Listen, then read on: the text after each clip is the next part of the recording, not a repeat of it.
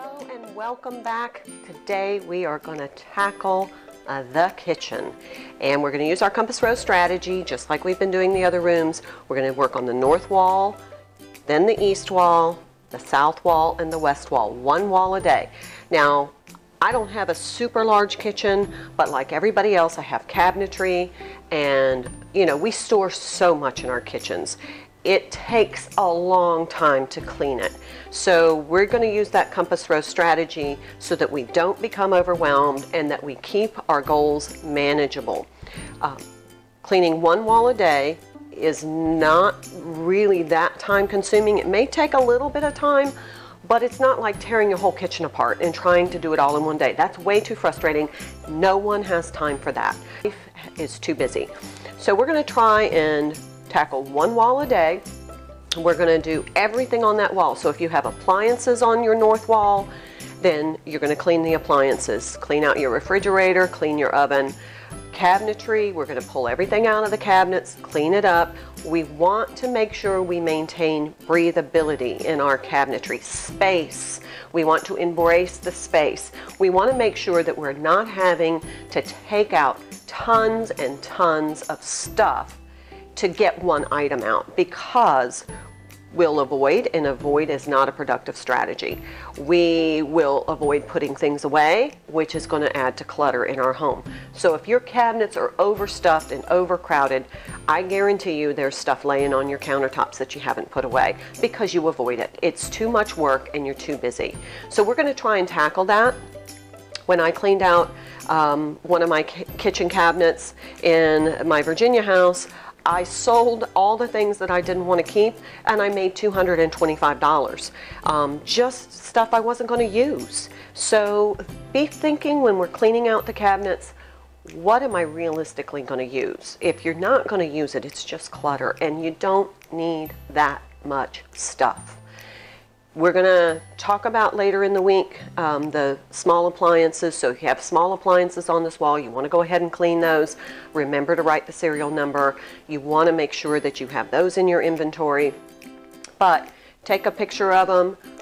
But you, your kitchen needs to be breathable. You can't suffocate in your kitchen and expect to be able to cook or to provide nice meals for your family because it's too overwhelming streamline your kitchen. You'll be able to function better. You'll cook more. You'll be more comfortable in your kitchen.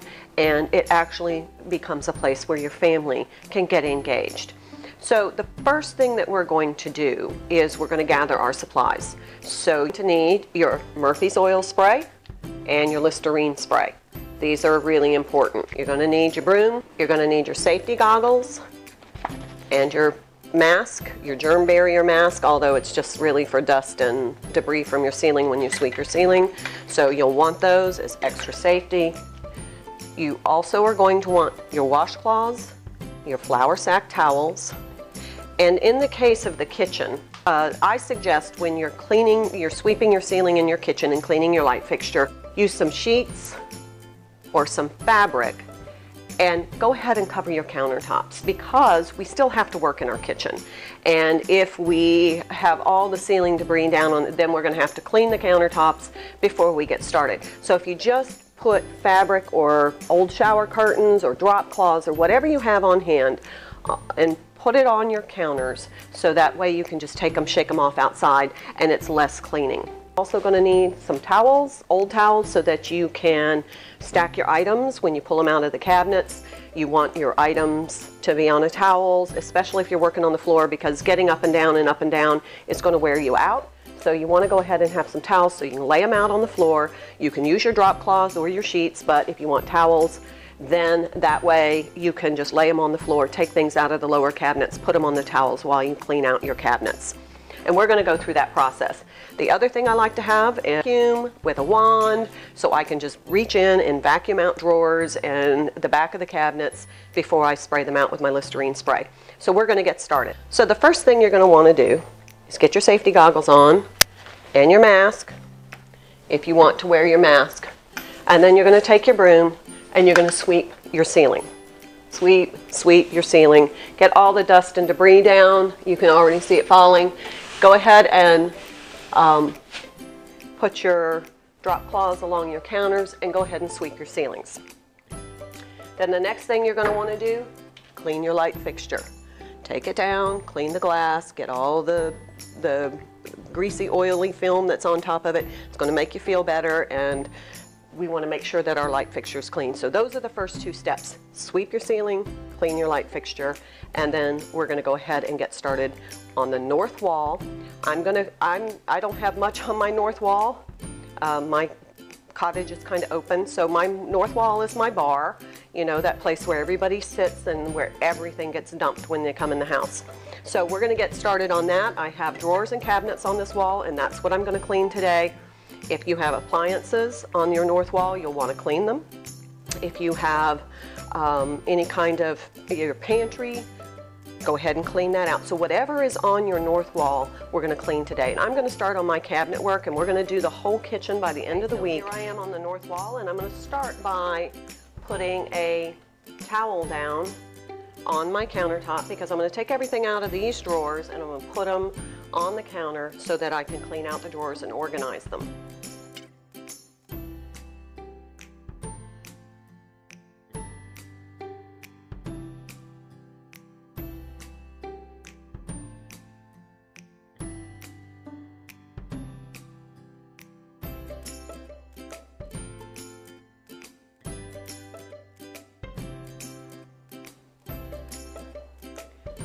Next, I use my Listerine spray and a cloth and I just wipe out the drawer and you want to wipe along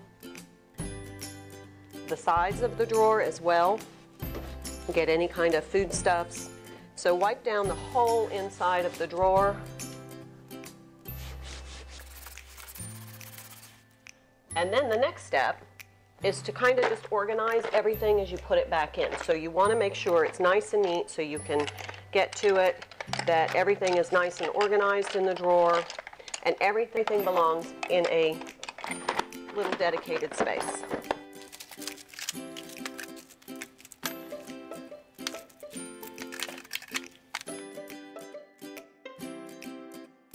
Anytime you have something that might leak, you'll want to go ahead and put it in some sort of protection, protective pouch, a zip top bag, or in this case, it's a little school pencil bag. That way you don't have gunky leaks in your drawer.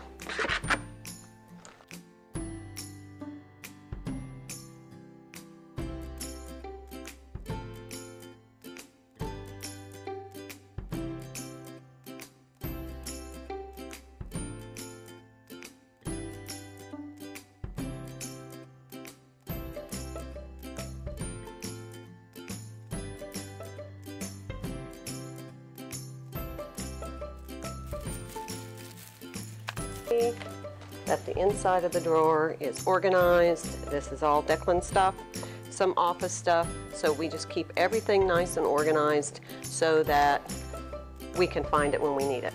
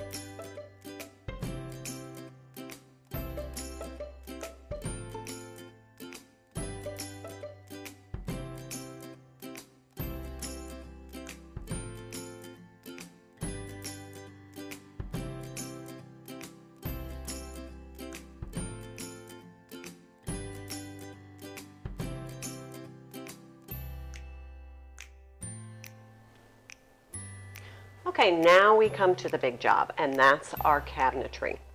So we want our cabinets to be clean and spacious. We want our kitchen to feel good, and we want it to be clean and as germ-free as possible. So we're going to take everything out of the cabinet. You can see here I have a towel on the floor that is ready to go. And I'm going to begin by pulling everything out of the cabinet, and then I'm going to clean the cabinetry on the inside. So I just start by taking everything out and putting it on the towel on the floor.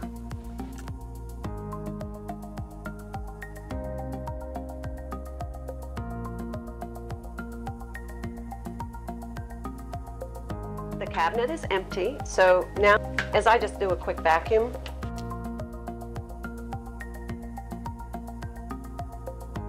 spray it with my Listerine spray to make the inside of my cabinets clean and germ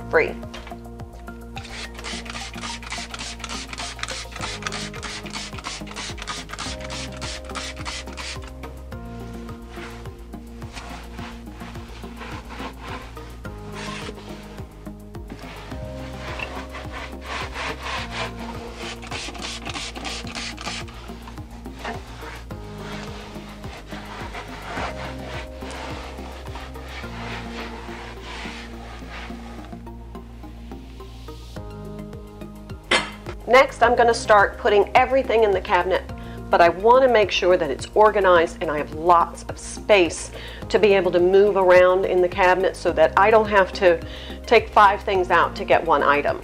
I want to just get, I want to be able to reach in and get what I want. So we're going to start cleaning the items before we put them in. So I'm going to use my Listerine spray and my flour sack towels and I'm just going to give everything a quick wipe down before I put it back into my clean cabinetry.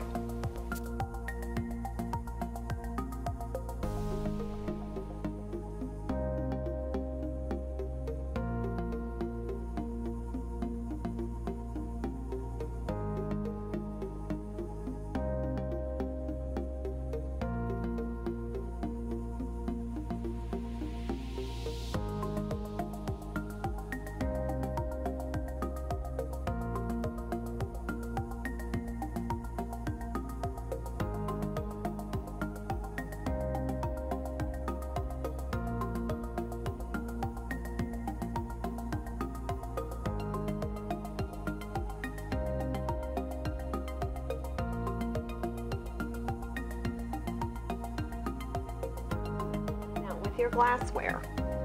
Um, when we cook a lot with our glassware, it kind of gets a little brown film on it. And you know what I'm saying. It, it's clean, but it doesn't look or feel clean. In order to do, to get rid of that, you can use a little baking soda and water and make it into a paste, and then just clean your glass. And when we work on our kitchens, there's all kinds of grease in the air. There's, you know, dust particles that you don't have to be fanatical about it, but if you're going to go ahead and clean out your cabinets, you might as well just give everything a quick wipe down.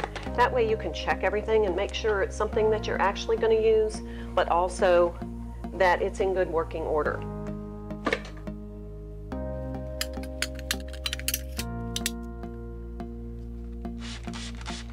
This just takes some of the residual grease off, maybe left over. Didn't quite get all the grease off in the dishwasher.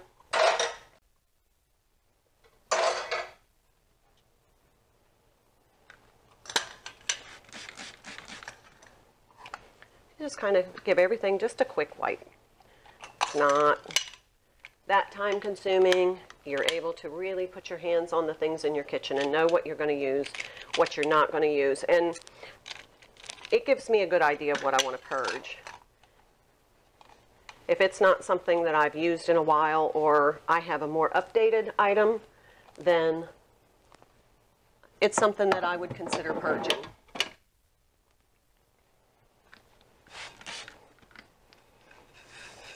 You know, we're kind of just taking care of our tools. These are the tools that we use to feed our family, to make healthy meals.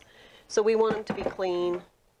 We want them to be in good working order. And we also want to be able to assess if there's something that needs to be replaced.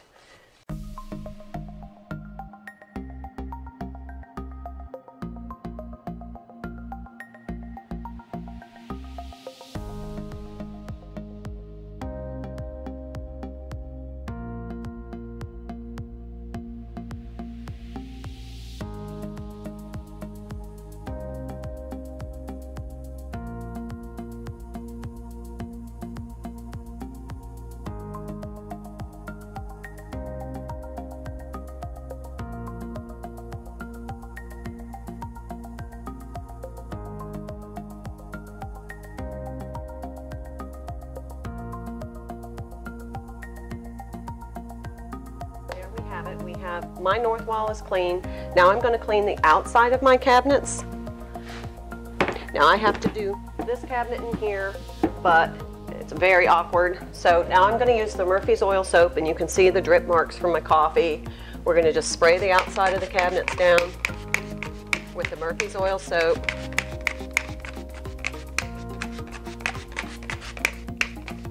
And just wipe the outside of your cabinetry.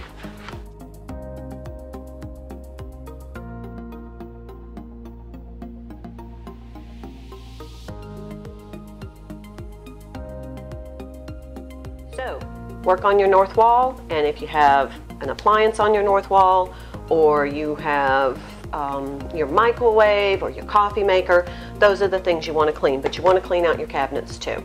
So, I'm going to start cleaning out this cabinet, and then um, that's it for my north wall. I'm going to clean the top of the countertop off, and then that's that's my day for the north wall. You can see how this compass rose strategy really works because I still have the rest of my day and I'm not taking all my time to clean my kitchen. Okay, so now I'm just going to clean the countertop.